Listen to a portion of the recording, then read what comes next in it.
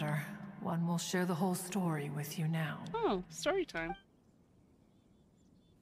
In times gone by, one scene- quarreled oft with Guizhong concerning mechanical principles. Mm-hmm. We each had our ideals, and neither would yield.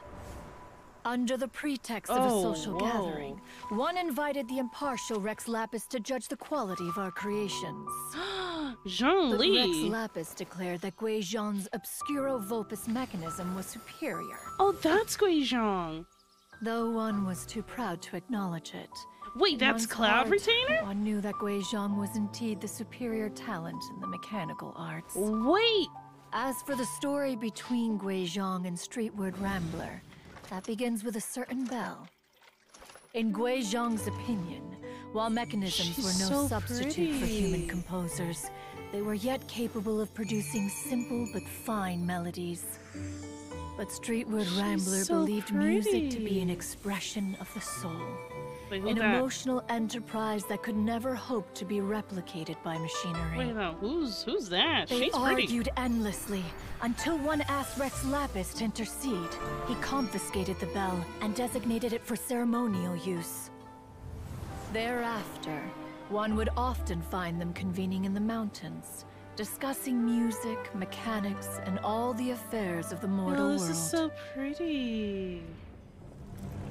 But these good times were not to last. War Oh. broke out between the gods, and soon engulfed the Guili plains. Guizhong was overpowered by the enemy, and fell in battle. When Streetward Rambler and I arrived at the scene at long last, all that remained among the ruins was her lifeless body. After this, at Streetward Rambler's request, Rex Lapis granted her the cleansing bell for safekeeping. Mm-hmm. To honor our friend's memory, one made a few finishing touches to her ballistic device. Many lantern rites have passed since then. Many greetings and goodbyes. Upon what do you gaze? The Guili Plains? No. It's everything. Hmm. We think of human life as like a lantern that's lit one minute and extinguished the next. But are we Adepti so different? Perhaps as dust settles after a storm, we too must one day That's- return to the world below.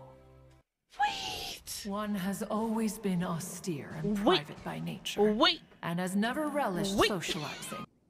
That was Madam Ping. That that was Madam Ping?